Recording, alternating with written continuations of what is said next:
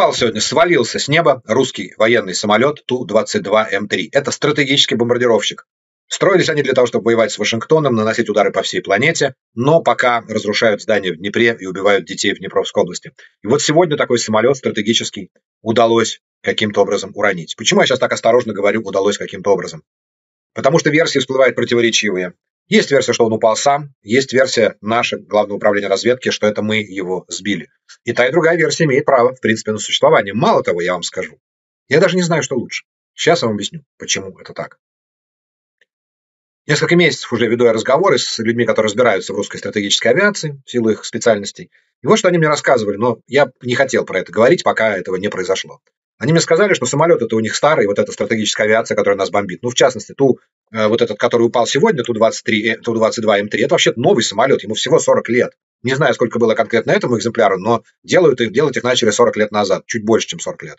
Те остальные, вот Т-90, по-моему, им по 60 лет, что-то такое. Не буду сейчас вас путать, но это в любом случае очень старые самолеты. Они совершенно не строились для того, чтобы каждый день летать, бомбить Кривой Рог. Они строились для того, чтобы однажды с оружием возмездия, с финальной атомной бомбой прилететь к городу Нью-Йорк, Вашингтон, Филадельфия и так далее, и так далее, и так далее. Поэтому их ресурс, в общем-то, исчерпан. Их ресурс исчерпан, их каждый раз подлатывают, обновляют и так далее. Но Россия не производит таких самолетов, у них нет для них запчастей. После каждого полета это же километраж, километраж, километраж. Ну, кто водит автомобиль, тот знает, что когда у тебя машина прошла уже там 600 тысяч, так она ломается регулярно, не так, как машина, которая прошла 6 тысяч. И все труднее и труднее ее чинить, и иногда, наконец, это лишается смысла, а потом она просто ломается. Но когда машина ломается, у вас дымится двигатель, вы останавливаетесь на обочине. Когда ломается самолет, то он падает вниз. И это то, что сегодня произошло. Не знаю. Еще раз. Но смотрите, если это от износа и от старости, значит, это не первый, не последний, а пошла история, пошел. Первый пошел, называется Ту-22М3, первый пошел на землю. Есть вторая версия, что это мы его сбили. Вторая версия, что мы его сбили, чем? Ну, предположу, что это ракета С-200, советская переделанная, она двухступенчатая, по-моему, ракета С-200, ровно такая же, которой мы сбили А-50. Приятная новость тут тоже в том, что этих С-200 у нас немало. Вопрос, что мы научились их модернизировать. Если это правда, это круто. Ну, два раза А-50 мы сбили. Два раза. А, единственное, кто пытается опровергать эту версию, люди, которые говорят, ну подождите, ну не могли же над Ставропольем. Над Ставропольем мы не сбивали. Сбивали здесь у нас недалеко, ну относительно недалеко, 300 километров. Как говорит наше командование, но он уже дальше дырявый летел и потом развалился в воздухе. Такое бывает, такое бывает, потому что помните Ил-20 или как он назывался, Ил-22, когда мы сбили А-50, чтобы вы вспомнили, про что я говорю, те, кто не помнит. А-50 это самолет-радар такой с шляпкой такой на голове, а, благодаря которому россияне полностью контролируют воздушное пространство над Украиной. Вот мы их в начале года две штучки завалили. Первый завалили вместе с сопровождающим его Ил-22, это передвижной командный пункт, а во втором случае мы Ил-22 попали в него тоже ракетой, но он не упал, он весь в дырках приземлился в Анапе. Хотя, впрочем, командира нам удалось замочить, но вот сам э, самолет остался, уцелел и сел в Анапе, сейчас, видимо, находится в ремонте. Вот. Так вот и сейчас, похоже, если это все-таки сбитый нами Ту-22М3, то это значит, что мы его поразили, он пошел, а дальше уже загорелся и э, упал. Новость в любом случае отличная, конечно, отличная новость. Просто что впервые, знаете, мы до этого уже убили их Ту-22 М3. Сначала беспилотниками были атакованы несколько штук таких, потом мы один как-то взорвали, я уж не помню, каким чудом сожгли Ту-22 М3, но это все было на земле. Впервые мы его поразили в воздухе. Еще раз, первый случай, если он упал сам, вау, Мэджик, скоро еще упадут. Второй случай, мы сбили, отлично, у нас этих ракет хватит, будем сбивать дальше такие Ту-22 М3. Он выпустил ракеты по нашим мирным городам. Это вот он, это, эти летчики убили наших а, мирных жителей Днепра и Кривого Рога. Эти самые летчики убили их, а потом были сбиты. Двое, к сожалению, выжили. Там всего их четверо, одного вообще так и не нашли. Один умер, пока летел на землю с парашютом. Двое в больнице, то есть живы. Очень надеюсь, очень надеюсь, что даже эти двое, они еще пожалеют, что катапультировались. Что наступит тот день, когда, стоя у стены в ожидании расстрела, они вспомнят вот сегодняшнее, 19 апреля, когда они выпустили ракеты, убили людей мирных, а потом бежали все-таки, все-таки спасли свою куру, жалкую жизневку, свою русскую никчемную спасли, выбросившись с парашютом. Трусливые шакалы, они летчики, они после этого, правда же? Но надеюсь, что они будут пойманы, осуждены, и они еще пожалеют, что остались живы сегодня. Но пока сегодня есть чем отметить. Сегодня вслед за преступлением просто сразу, немедленно пошло наказание. Ну а теперь о самом преступлении. Очередная большая ночная и утренняя атака россиян на наши мирные города.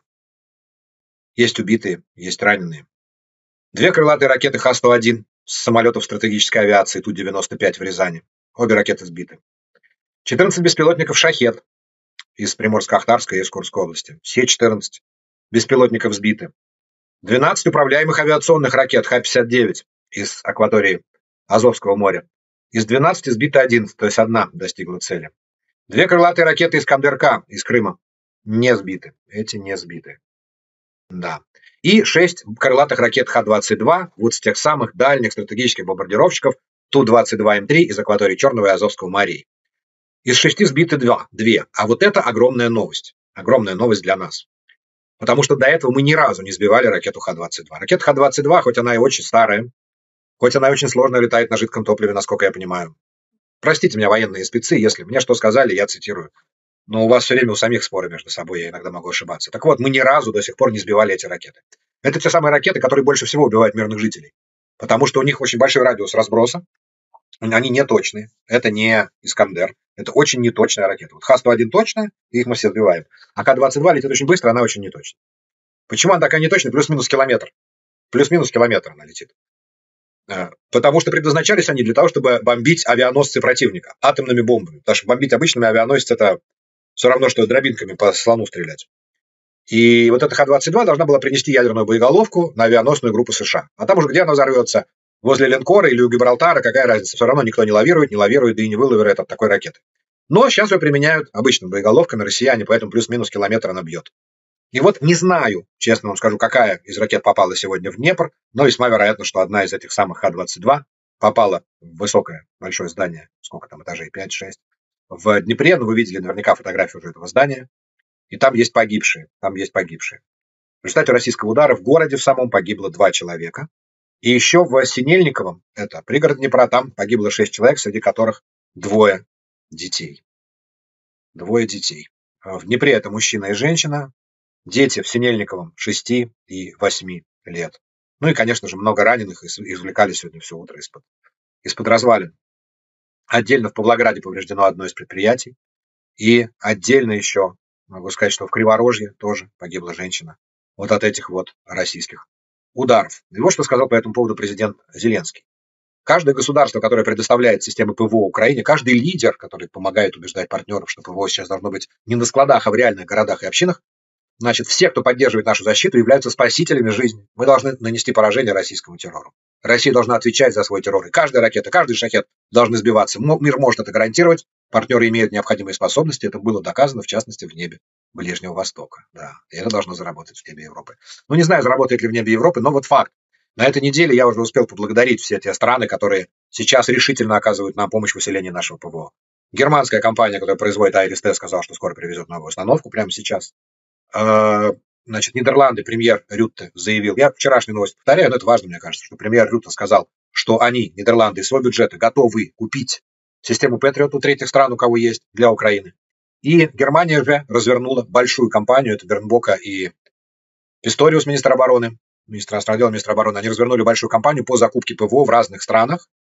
И Шольц, по-моему, сказал, что есть план закупить несколько патриотов в разных странах. Германия их закупит для Украины. Вот так. Все это спасение жизни. Ну а каждый россиянин, который сегодня работает в промышленности, связанной с авиацией, в обслуживании аэродромов, авиадиспетчер, каждый э, россиянин должен знать, что он убийца, он соучаствует вот в этих убийствах, и его ждет судьба вот этих четырех летчиков, которые сегодня над Ставропольем прыгали из своего горящего самолета. Прыгали, впрочем, не очень удачно. 50 на 50. Или выживу, или не выживу. Вот 50%. И не выжили. Вот так. Преступление я вам тоже описал. А наказание внутри описания выше. Я думаю, что за сегодняшний успех надо отметить, во-первых, спасибо сказать всем ПВО и всем, кто нам дал эти возможности и все эти ракеты.